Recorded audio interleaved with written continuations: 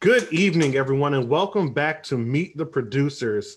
Uh, my name is Joshua Reynolds, and I am your host uh, from American Legacy Network.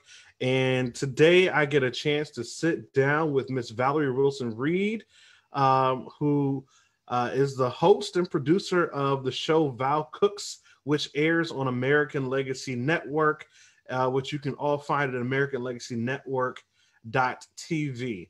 And so I'm going to introduce Miss Reed and then we're going to get right into it. So, first thing I want to say is um, Valerie Wilson Reed is a successful entrepreneur and the CEO of Val Cooks LLC. A native Floridian, she received her BA from Marquette University in 1979, majoring in communications. Her corporate career in sales and marketing includes Pabst Brewing Company, Hershey Chocolate Company, and G. Heileman Brewing Company. Um, an ardent volunteer, Ms. Reed is a past president of the Marquette University Alumni Association National Board of Directors, past president uh, and founding member of Marquette University's Ethnic Alumni Association, and she's also served on the Diederich College of Communications Advisory Board, as well as numerous nonprofits, uh, and she resides in Illinois. Uh, so, Valerie, it's good to see you and good to chat with you. How are you doing this evening? Oh, doing great. Doing great. How about you, Joshua? I'm doing pretty good. Very excited to, to talk to you about your cooking show okay. and about you in general. And so, uh, you know, with Meet the Producers, we talk a bit about the show that you produce, your, you know, your, your production process, as well as um, who you are as a person. So we're going to talk a bit about the show, a bit about your production, and then uh, I'm going to ask some fun questions uh, towards the end of the interview. Uh, so the first question um, I have for you is how did you, um, you know, essentially get into the filmmaking uh, uh, world? Well, this, you know, it kind of happened by accident. Uh, but um, as you know, I uh, always loved to cook. And so your father happened to have seen one of my recipes. I believe it was my banana pudding recipe and uh, wanted to know if I would be able to produce that for American Legacy Network. And so I didn't know anything about filming or whatever. My daughter had studied film and television, but she was a little bit too busy. Uh, and so um, the first one, I ended up uh, having a nice young lady who was in, in college to help me try to produce it and all of that.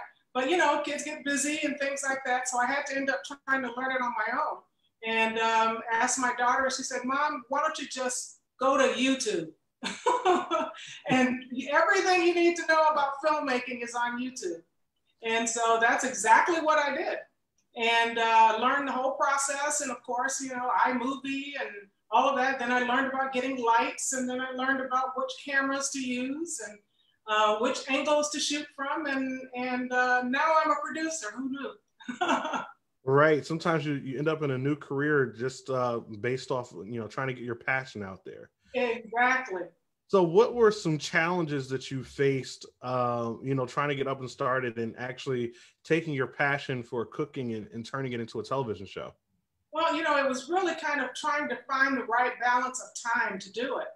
Um, and part of that was, uh, you know, when you're doing the cooking show, I, I pretty much do everything myself. So I have to go to the grocery store, planning that, and making sure that when you get there, uh, when you're getting ready to film, you have to do it pretty much on the same day so it's fresh. Uh, then coming back and doing all the prep work. And so I have to do all the cooking, cooking and chopping and putting it in the right dishes and all of that kind of thing. Then setting up the actual cameras and the lights and all of that type of thing. And uh, so it really it's a lot of balancing of time. And I try to do all of the filming, shopping, cooking all in one day. Mm. Wow. So that is that seems like you're wearing a lot of different hats and, and, I do the editing the next day. and then you do the editing. Wow. So you you cook, you film, you set up the, the scene and everything, and then and then you edit. And uh, so how, how was how was learning the editing process for you? Um, it was trial and error. Um, I had a, a young lady uh, show me one time how to do some of the editing, and uh, again using uh, YouTube uh, and Siri, you know, you ask, ask those questions and you can find out just about anything you want to know. And then it was by trial and error. You know, I had to um, uh, try out different things. I made a lot of mistakes. Sometimes it took a lot of time. Uh, it's just getting over that learning curve. And so, uh, uh, but that's basically how I did it. It's a trial and error. And, and if you look at my beginning um, videos to what they are now, you'll see the transition, you know, of different things that I've learned as I went along. Awesome. And so, you know, you do have a lot of videos on the network. I think we're nearing uh, nearing almost 100 videos at this point, something to that nature. Close, close to it. It sounds right. It doesn't seem like it because it's been so much fun doing them. Right. And so, I mean, that's actually a really definitely important pieces to say, you know, what you just said, it's a lot of fun doing it. And when you're having fun, it seems like it's not a lot of work. But the reality is, we do know that what you do does take a lot of work. Yes. Um, and so, how did you get into to cooking? And how did you get into? Yeah, let's just start there. How did you get into cooking? Get into cooking. Um, I've been cooking since I was. I made my first meal when I was ten years old, and um, it's interesting because you know while a lot of kids were outside playing and all of that, I was watching Julia Childs on Saturday mornings. wow. I was watching Julia Childs at 10 years old, and while other kids were outside playing, and um, my mother finally said, you know what, I'm going to let you go ahead and prepare the first meal. And I'll never forget it. Um, it was uh, fish in a, a, parchment paper.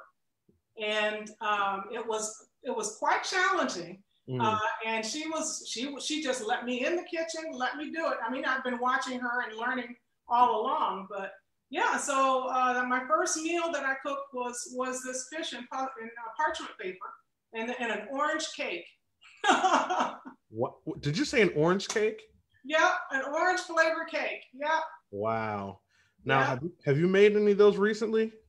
Uh, no, I have not actually. okay. If you said yes, my follow up question was, do you ship? well, you know, it's funny. It's funny when I uh, do uh, post uh, when you post the recipes on American Legacy, uh, I get phone calls okay, and Texas, and, and you know people on Facebook saying, uh, "Do you have any left?" And and believe it or not, I, I, have some friends. Hi Terry, I hope you're out there. Hi Linda. Uh, uh, they come by. Hi Dana. They come by and pick up uh, uh, what I'm cooking that day because I I don't know how to cook a small amount. I always cook for a lot of people. Mm. Yeah. Wow, that's amazing. So I'm actually going to share um, my screen for a second to show everyone some of the clips we have of you of your of your work on American Legacy Network. Okay. So we're going to show a little bit of that, um, and then I'm going to ask you some questions about that, of course. Okay.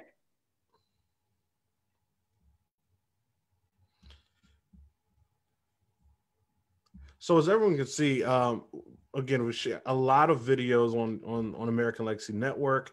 Uh, and so we're going to choose a couple just to show just the the nature of her work. So let's go with um, Val Cook's Mediterranean.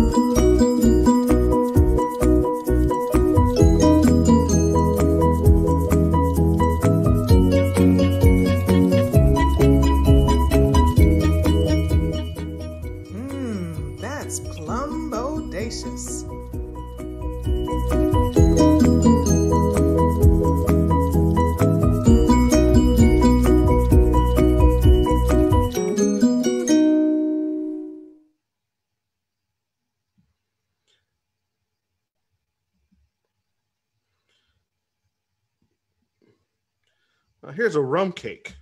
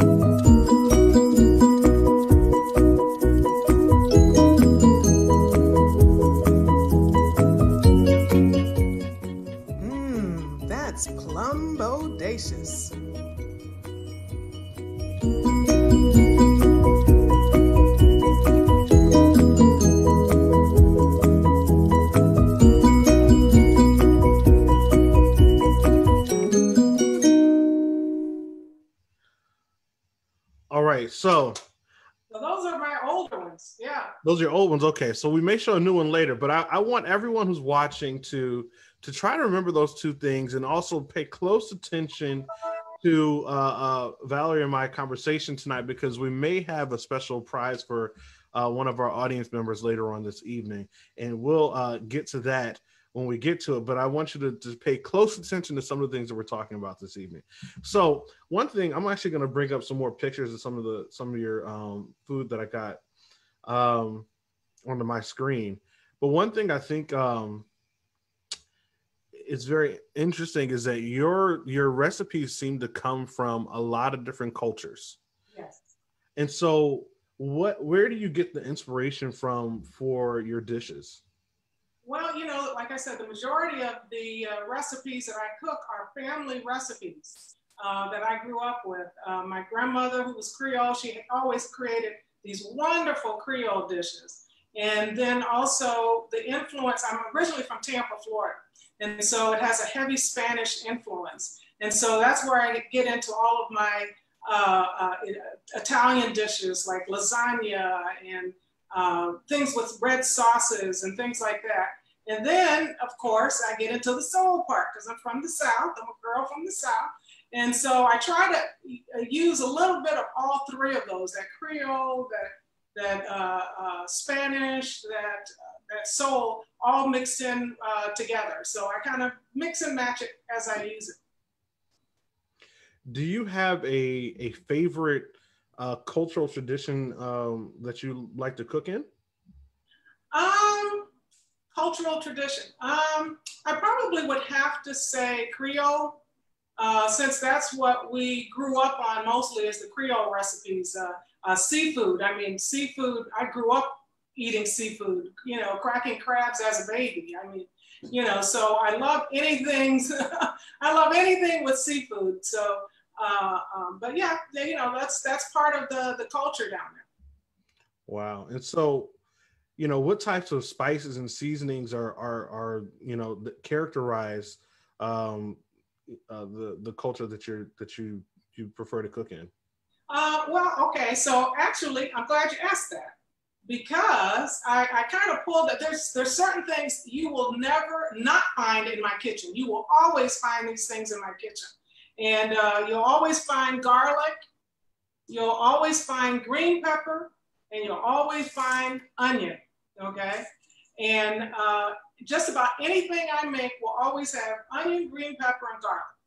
Uh, then it's as far as uh, my sauces and things, you know, I'll always, I always use fresh herbs um, in, in my uh, dishes. My grandmother always said, always go fresh, never go uh, any other way unless you absolutely have to uh, with dried uh, herbs and things like that because it really kind of brings out the flavor of the food. So uh, yeah, and then another thing that I always like to add uh, that I will always have is turmeric.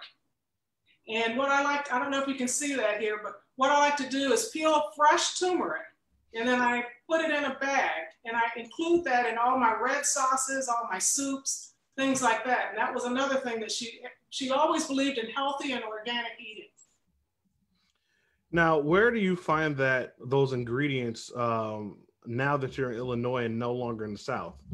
Uh, well, I, I can find them at Whole Foods, but um, I must tell you, like, okay, so I get a lot of questions about garlic. And so in a lot of my recipes, I use elephant garlic.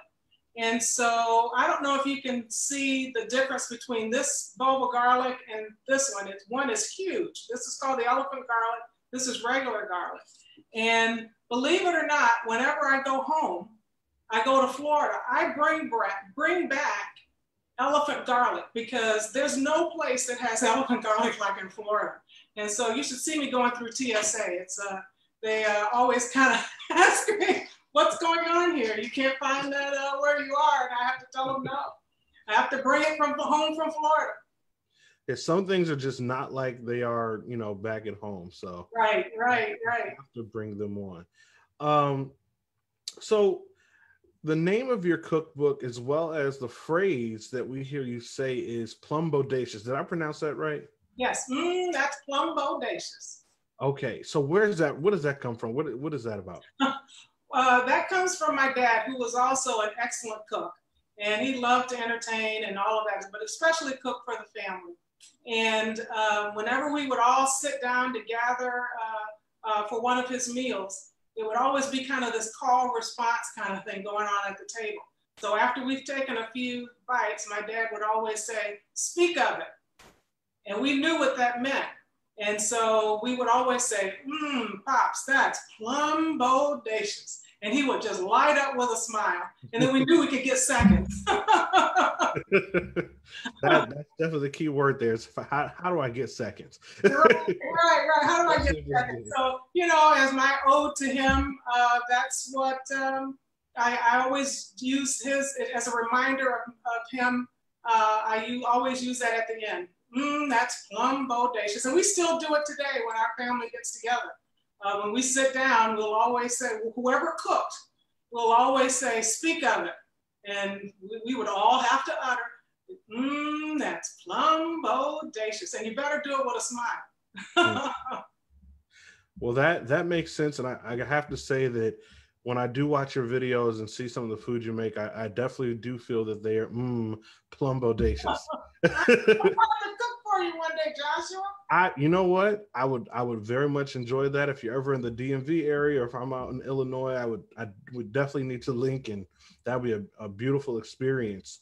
I would um, love to do it. And, and speaking of beautiful experiences, can you talk about the importance of preserving culinary culture and history um, uh, you know within the black culture as, as well as you know kind of in a global way because you again include so many different types of of um of culinary traditions. But can you talk about the importance of maintaining culinary traditions?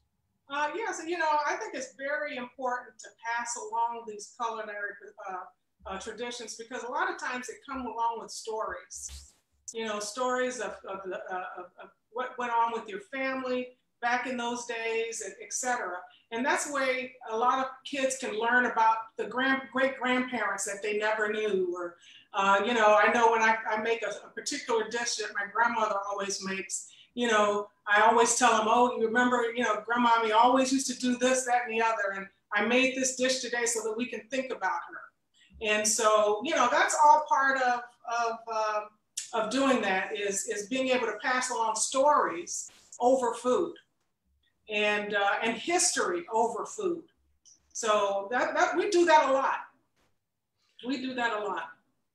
Do any stories or history that you learned over food do any stick out to you or have any really um, maintained a place in your mind and heart um let's see i would probably let's see i'm trying to think which one in particular um well i have to say probably one of my signature dishes is um, uh, what I is, is the paella. I'm, that's what that's my signature dish. Mm. Usually, if you come to any party that I'm throwing or whatever, um, I'm throwing the paella, and and uh, and it gives me an opportunity to talk again uh, about my my father, who uh, was a civil rights attorney, and uh, all of the things that he used to do, and we talk about all of the the importance of doing uh, voting and all of those things that, that they that he had to do along the way.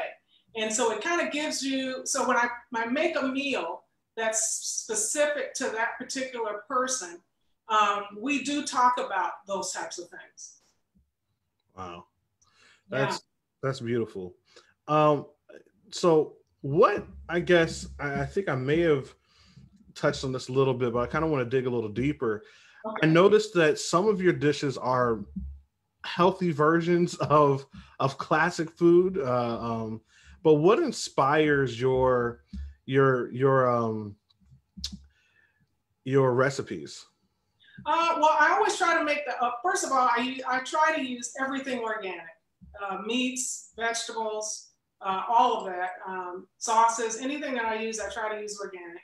Um, and I also try to make them as light as possible. You know, I mean, you know, uh, African Americans have a lot of history of diabetes, et cetera, and we really need to kind of start focusing on our health and the food that we eat. And so you'll find a lot of the dishes that I um, prepare, uh, where it's ground beef, I substitute for ground chicken with ground chicken. And uh, like my chilies, instead of using ground beef in the chili, I will use ground chicken in the chili. Mm. And uh, you know, there's a couple of little tricks that you can make it look like ground beef uh, with the browning sauce and all of that. If you uh, prepare it with the browning sauce before you start cooking it, it comes out looking like ground beef. But it's a, and it tastes like ground beef, but it has a lighter flavor, a flavor to it. And so, how do you respond to folks who say, you know, you're making these different versions of some of our favorite foods. It's just not going to taste the same, or it's just not going to be the same as when grandma made ham hock greens and so forth. Because I saw you had a vegetarian or even vegan uh, a collard green recipe. And so some people are just like, well, if it doesn't have ham hock or, or, or, or turkey bone in it, I'm not going to do it. So how do you, one, maintain the flavor, and two, how do you respond to people uh, who may be a little nervous to to try something traditional but a new version of it. New version, exactly. Well, I must say, I still do, in some of my uh, uh, collard greens, I still do put ham hocks and all of that.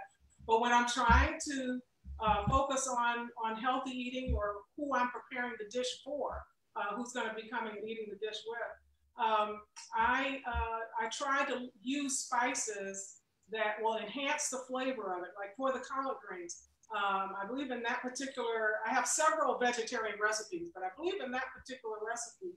One of the things that I use is a jerk spice. And using, it's a, a jerk paste. And, uh, and I use some of that in there. And it's unbelievable how it gives it that flavor of that smoky uh, ham hock or, or that, that ham or whatever.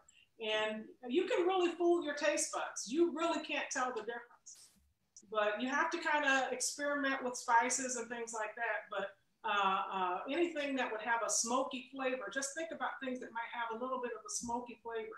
And like I said, that jerk spice works wonders, and you really don't miss the meat when you have it in there. Wow.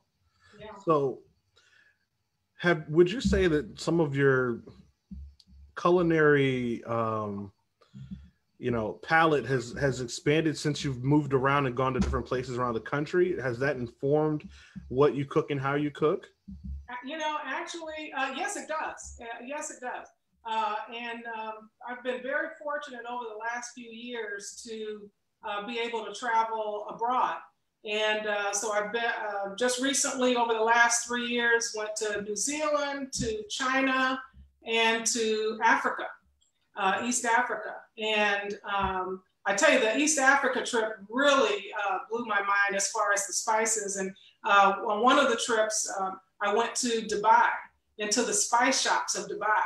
And oh my God, it was just, to me, it was like heaven. Everybody else on the trip were like, yeah, okay. Me, I'm like jumping up and down, you know, uh, wanting to take back all, and forgetting that I only have a sm- small luggage, uh, wanting to take back just about everything there. But uh, uh, but what I like to do is once I come back, uh, one uh, is try to recreate some of the recipes. And actually, when I was there uh, in Africa, uh, some of the chefs were kind enough to actually provide me with their recipes.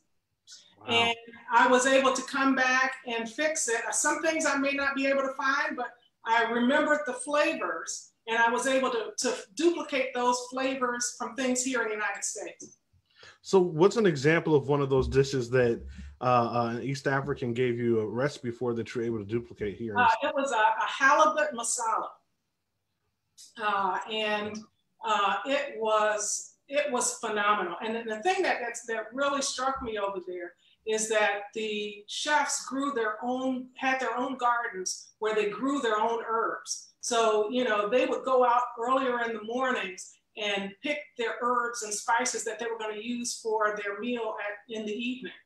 And um, I mean, it was, it was, it was, it was just phenomenal.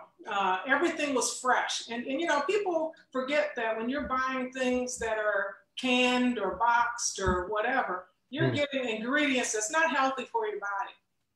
And when you buy fresh and you cook fresh, and you watch your portions, you can actually uh, lose weight. And, and, just to kind of give you a little taste of that, uh, throughout this whole COVID ordeal, okay, I haven't been going out to eat. I haven't been going to restaurants. So I've been preparing all my meals here at home, and I've lost 18 pounds. Wow, that's that's phenomenal. And from eating everything fresh, mm. using fresh herbs, organic meats, and you know, still watching your portions, but it's amazing uh, uh, the difference. And as soon as I, you know, I, I, did go out one time, and all of a sudden I just felt bloated and, uh, uh, you know, just didn't feel right. And it's because I don't have all those preservatives and things in my food anymore. Yeah, I mean, I definitely know what you're talking about. You know, when I was younger, growing up, we um, I grew up in Cleveland, Ohio, initially before we moved to New York and my my mother, my my grandmother, my mother's mother, had a garden uh, in their backyard in Cleveland, and and I remember going out and picking vegetables and things from the garden, and we would you know say pick snap peas from the garden, go into the house, wash them, shuck them, and and yellow and green squash and and and cut them up and give them to Gigi. We call her Gigi. Give them to Gigi, and she would work wonders in there. But I mean, there was really nothing like eating veg- vegetables that you just got from your garden. I know, isn't you? Can, you can't you cannot duplicate that. I mean, uh, um, it's it's amazing. I'm very fortunate. I have a friend of mine, uh, Anne. As a matter of fact, uh, yesterday she just gave me some things out of her garden. And I was thrilled because, like you said, there's nothing fresher than something that's just been pulled out out of the ground. Now, me, I, I do not have a green thumb, uh, uh, so I'm not a gardener. I want to be, I would like to be, but uh, you know, so the closest things I can come to that is uh, going to uh, in the, the summer and spring is going to the um, the markets, you know, the open markets uh, where the farm the farmers markets. Okay, yeah. And you can find that a little bit fresher, you know, than than going and getting it from the store because if it's once it hits the store, it's been sitting in the store for a while, and uh, it just doesn't have the same taste. No, I don't. I don't know what it is, but it, I mean, probably preservatives and all types of other things. But it just it, it, there's a huge difference. There's a huge right. difference. And I like to know my food. I know mm. that sounds bizarre, but I, I, like to know my food. I like to know where it came from. Mm. Um, you know, and you know, there's an old joke about knowing, uh, not knowing how the sausage is made. Well, mm. I like to make my own sausage because I want to know what's going into it. That, you that, yeah, that makes perfect sense. And so, what about uh, New Zealand? What kind of dishes and what kind of cuisine do they have over there that that kind of you know uh, left you were interested in? I tell you, uh, the, the food in New Zealand, well, first of all, most of the seafood is either, uh, I mean, most of the food is either seafood or lamb. Uh, I'm not a big lamb person, although I did try it. Um, but uh, the seafood was, was everything there is organic. I mean, you don't, when you go into the grocery stores, we went into the grocery stores trying to find something unhealthy. Mm. Everything that they have, even in their grocery stores, are healthy. Wow. Free of preservatives and things like that. And again, you know, here again, you would uh, go to the breakfast places and they would have these pots in front of the doors of their restaurants. And you would go into, uh, and you would see them go outside and pull, cut, snip here and there from the pots, and then they come back and they prepare your meals. That's how fresh the food is there. Wow. You know, I mean, it's, it's very healthy eating there, as well as being one of the most beautiful places I've ever seen.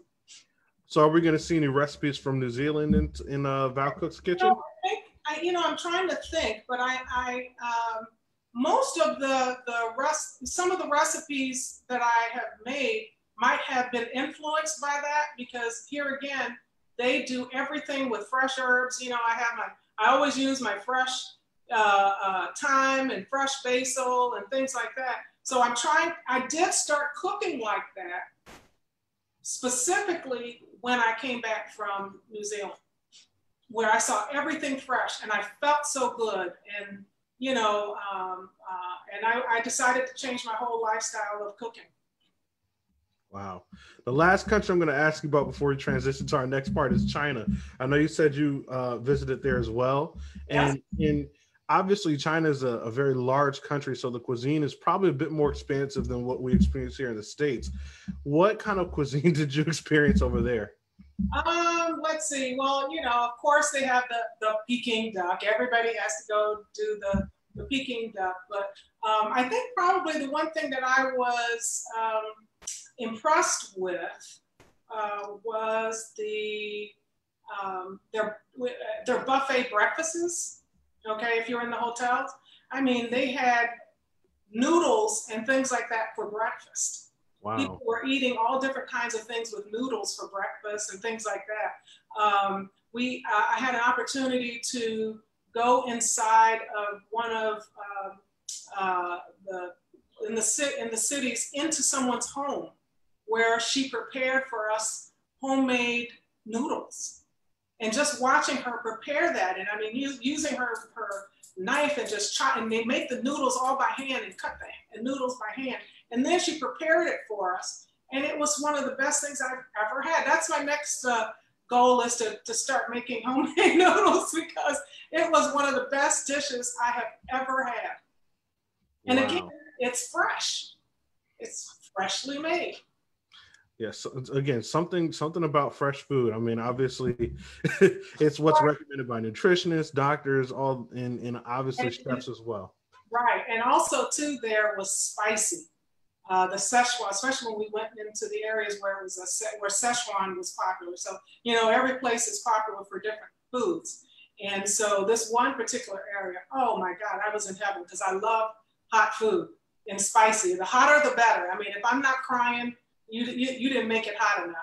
And uh, uh, they had some that that definitely made me cry, but it was delicious. It was wonderful. Well, that that definitely sounds like an experience. Um, and for just a moment, we're actually in, in just a moment, we're going to transition to talk more about your book that's coming out, okay. or that actually already is out. I've seen one, but yes, that the the one that's called "That's Plum Bodacious" that I did uh, specifically for uh, American Legacy Network. Uh, and then I am working. I just completed another one. Uh, in the process of getting that done. Uh, I'll reserve the name on that one for a little later date, but okay. I'm hoping to have it out before Christmas. I'm hoping. Okay. Okay, great. Yes. So let's talk about uh, that's plum bodacious for for a little bit. Um, so I'm going to bring it up here on the screen. So okay. let, let's talk about plum bodacious. Where so what kind of recipes will we find in in this book? uh, you will find some of the, well, first of all, the, the picture itself, the, for the cover picture, that's of, of the dish that my dad was famous for that now I'm famous for, which is the paella that has the chicken and seafood, lobster, shrimp, clams, mussels, uh, uh, chicken, ham, uh, um, yellow rice, saffron, all of those uh, type of spices, and it's absolutely wonderful. And, and his secret to it was cooking it in beer. And, uh, and that's, that's how I, I make that one.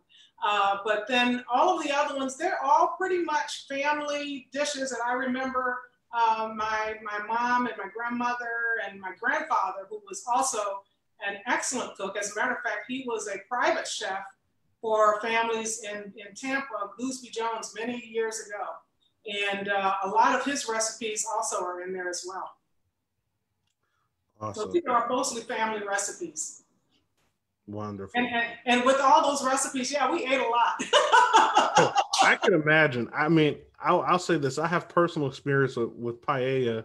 Uh, when I when I got a chance to go out to Barcelona, I guess almost ten years ago now. But that's the first place I ever tasted it. Uh, uh, and then there's a place not far from here, so I'm really looking forward to your paella. well, wait a minute. So you mentioned uh, Barcelona. So I had a friend of mine who was in Spain and tried the paella in Spain, who had also had my paella, and texted me from, or not texted me, but Facebook me from Spain and said that my paella was better than any of them that he had in in uh, in Spain. So I'm just saying. You know that, that sounds. now, now, wait a minute. I'm just saying. I'm just saying. that sounds like some serious paella. That's some serious paella. You, you anyone had my paella. Yeah. So let, can we talk a little bit about the process of you putting the the recipes together? Now, I know you said they're family recipes, and from my from what I've seen uh, from people who cook from family recipes, that can that's both a really good thing and also a particular challenge. Uh, because in a recipe book, you, you usually have measurements and that type of thing. Uh, but from family recipes, uh, and, and especially oral tradition recipes, a lot of times is a pinch, a smidget, a little bit of this, a hint of that, and that type of thing. How do you convert from the oral tradition to putting together um, uh, digestible, uh, for lack of a better word, but digestible recipes so that other people can emulate what it is you're doing? Right, right, and, and that I must say that is that has been a difficulty. Uh, you know, someone said, you know, how do we, uh, uh, you know, when you're cooking from your ancestors' recipe, when do you know when is it enough? And he said, when they tell you it's enough. so right, right. You know, from heaven, I guess. Right, absolutely. yeah. But uh, so what I have to do is, as I'm creating the recipe, then I do a little oral thing on my on my phone there, and I'll say, you know, and then I'll actually do what I would normally do without measuring, but then I would put that in a measuring spoon or a measuring cup or whatever in order for me to be able to figure out exactly what that uh, um, measurement is. Uh, but it is it is a challenge uh, because you know, and, and, I have to keep that in mind when I'm doing it because I I you know I, I usually and I'm a fast cook, so mm. you know um, I usually just do everything boom, boom, boom, boom, boom. So I have to slow it down and then actually measure what I would normally put in. Okay. Yeah. That makes sense. And so it's interesting you say you're a fast cook um, because a lot of the videos that we have on the network are between one minute and two minutes. Uh, which I think are great because you got you get the idea, you get to see the ingredients, the process, and everything. What made you want to choose that particular format versus, say, a Julia Childs format, where you're kind of staying watching for you know half hour to forty five minutes? What what one what caused you to want to make it a, a quicker video experience? Well, you know, I kind of did it because of what I like. Uh, I don't have a lot of time, uh, so when I'm looking for recipes, if I'm looking for a recipe and then all of a sudden they've got all of this story and you know, and they're and by the time, yeah, I I, I just want the recipe. Just mm. give me the recipe. I don't have time. I just need to know the recipe, the ingredients, and, and a general idea of how it's done. And I I had heard from other people that the same thing that you know I don't want to hear all of this. This is nice. This is great stories and all of this kind of thing. But just give me the recipe. I want the recipe. And, uh, uh, you know, I don't mind doing a full hour. I could prob- probably do a full hour cooking show uh, or half hour cooking show. But um, when people are looking things up and they're in a time crunch and they just picked up the kids from school and, you know, they've got the ingredients and, you know, they don't have time for that. They just want to get a general idea. Okay, yeah, this is how it goes and let me get it done. Okay, makes sense. That makes perfect sense. And, and I uh-huh. think that the format that you've chosen, I think, is definitely a very um, it's a very effective format because again, you get all the ingredients, you get the process, and you get a beautiful picture, a beautiful visual of what what can happen if if if uh, if people attempt to do your um, your dishes. And right. I say it can. And it's also difficult editing too. So you right. know, get it down to that just to get it down to that one minute or two minute uh, video um, it takes quite a bit of time editing doing that. Yeah, a lot of a lot of people who don't create film don't realize that if you see a two minute clip, you probably put at least an hour and a half to two hours of work into cutting down to just two minutes. Exactly. And so yeah. we, we, I personally appreciate the labor of love that you put into it uh, to, to make it make it so that everyone can enjoy the video. So that's definitely a wonderful work that you're doing. Um, and so, for those uh, who are watching on Facebook, um, remember a little while ago I said make sure you pay pay close attention to um, to, to the conversation that I'm having with Valerie here. And here's why. So, American Legacy Network is actually going to give away a couple of uh, cookbooks. Um, uh, that's plum bodacious. And so, in the comment section of our Facebook, um, in the comment section of our Facebook live stream, I would like for some of you to answer the following questions. What ingredient? Um, I'm going to ask a couple of questions. What is an ingredient that Valerie has to uh, uh, smuggle from home uh, back up to Illinois that she can't get anywhere else. So someone can answer that in the comment section. She did display it, so um, it's an ingredient that seems like it should be common. I'm going to give a hint, obviously, uh, but what ingredient does Valerie have to actually fly uh, from the south back up to um, back back up to Illinois whenever she goes home? That's the first question. Um, the second question is, can you name one of the countries or one of the areas of the world uh, f- that Valerie traveled to and was uh, influenced in her cuisine. So she named a couple of countries in one region. If you can name one of those countries in one of the region in the comment section, um, we we will uh, maybe have a prize for you as well. So the two questions: What is the uh, the food item, the ingredient, and then what is one of the countries that uh, Valerie has traveled to uh, to uh, that have influenced her her culinary skills. So those questions are out there, and there are a couple people starting to answer.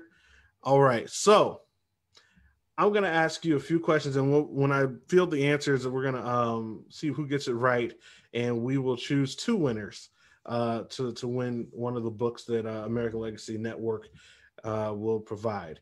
And so we'll inbox, but for the last couple minutes of our of our time together, uh, we want to talk about who is Valerie. So I have a couple of fun questions I'm going to ask you, um, and they're not necessarily related to cooking, but you can relate the answer to cooking if you feel like it. Are you ready? I, am scared. I'm scared now. don't be scared. Don't be scared. I promise you, the questions will be semi painless. Okay, so I'll relate the first one to cooking.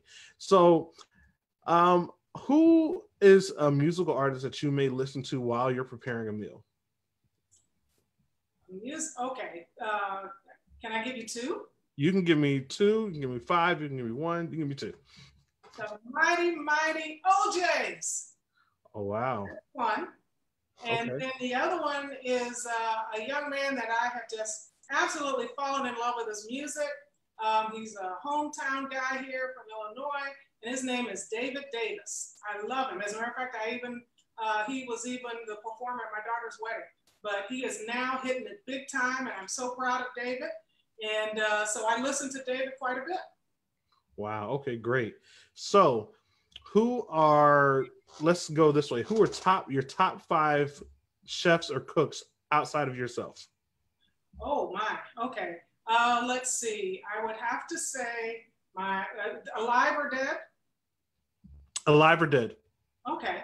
Uh, of course, Julia Childs.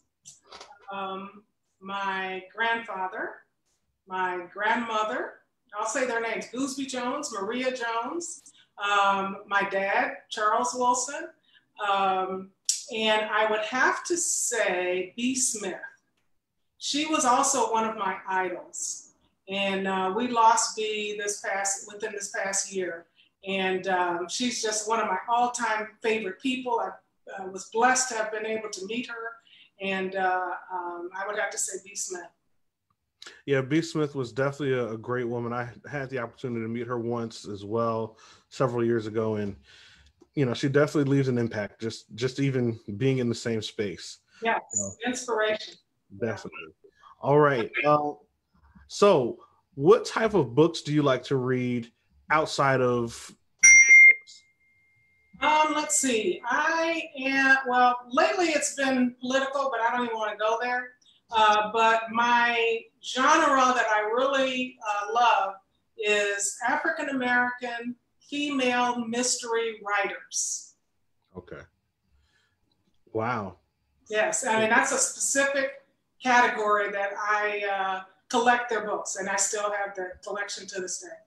Do you have any authors from that uh, from that genre that you'd like to share with everyone? Um, let's see. Oh, um, oh dear, I'm trying to think of her name, um, but um, Oh dear. Oh, you would ask me that. See, I have to go to my shelf and take a look at it, but.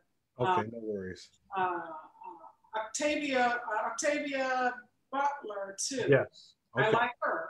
Yes. Uh, although hers was more sci-fi genre, but I could say that she comes to mind at first. And then uh, Neely, um, oh gosh, her last name is Neely, and she had quite a few. Um, I think she just recently passed as well, and oh. uh, she had a series of books that were mystery writers as well. Okay. Yeah. So, if someone, if a young person wants to to get into cooking and get into even uh, doing what you're doing, which is you know having a cooking show, what kind of advice would you have for them, and how would you encourage them in moving forward? Uh, first, have the passion for it, uh, and then uh, try to learn as much about cooking as possible. Uh, don't be afraid to try um, new things, how uh, even change recipes. Um, one of the ways that I taught my daughter how to cook, she does it by smell. And so sometimes she she may not even eat something that she cooks because she got she was a very picky eater, but she was a great cook because she knew what smelled right together. So you know, always trust your sense of smell and your sense of taste, and try different recipes. Um, but also, if you wanted to to uh, you know watch other uh, chefs and cooks, home cooks, and um, and then you know follow YouTube and find out how to actually go through and do the process of, of uh, filming and editing. And, you know, you'll have to invest in lighting and all of those kind of things in order to, to, to get it going. But, uh, and, and to be honest with you, uh, if you have an iPhone, great. Most of my videos are cooked, are done with the iPhone, especially the, the later uh, videos that I've done were done with the iPhone. Yeah. So so what's next for for for you and and your cooking show journey and just your journey in general? Um, well, you know, again, I'm coming up with the book, uh, the second book, and um, uh, eventually, I think I would like to do a 30 minute, you know, or hour show. Uh, and so that's one of the next goals that I'm I'm looking at and looking forward to. Okay, awesome. So the last thing is how can people get in touch with you? How can we learn more about you? How can we communicate with you and connect with you? Okay, uh, the best way is Instagram, and it's Val Cooks, and that's V A L C O O K S, like in Sam, underscore kitchen. So Val Cooks Kitchen uh, at uh, on Instagram. Mm-hmm. Uh, they can also go to valcooks.com mm-hmm. which will also uh, show you information about the book and all of other things that I'm doing. Awesome. Mm-hmm. So thank you so so much for taking your time out today to to share with us and share a bit about your cooking, a bit about what inspires you, a bit about you, uh, as well as as uh, your show. So again, everyone, I highly encourage you to subscribe to American Legacy Network at AmericanLegacyNetwork.tv so that you can also become a great cook um, like Valerie here and check out her her many many videos and also stay tuned because next week we have our final two meet the producer events uh, uh, next Tuesday or uh, next on the 29th, rather, we have Jeff Watkins, and on the 30th, we have Dante James. Um, the last thing uh, before we get we're done with this show is I'm going to announce the two winners who uh, who actually answered our questions correctly. Okay. Um, and so our two winners are Dolores Jones, oh. as well as Terry Thomas Nolan. And so the answers that they gave, the first answer was elephant garlic. And so that is a, a, a, form of garlic that you can't find anywhere else. And so uh, elephant garlic. And then also, online, yeah. pardon me? You can find it online. You can find it online? Yeah, uh, Amazon sells it. Amazon, okay. Amazon sells it. I pick my own, so anyway. Um, and then also one of the countries that or areas that you uh, traveled to was Dubai, and so um, the two of you guys uh, answered both of those questions, uh, Dubai and elephant uh, garlic. So we're gonna connect with you to make sure that you can receive your prize of Plum Bodacious, or that's Plum Bodacious, um, the cookbook by Valerie Wilson. So thank you so so much again for joining us. And can I just say one more thing? Yes. Please go vote. Agreed. And it's been my pleasure. Absolutely. And on that note, we're going to end our live stream. Thank you so much.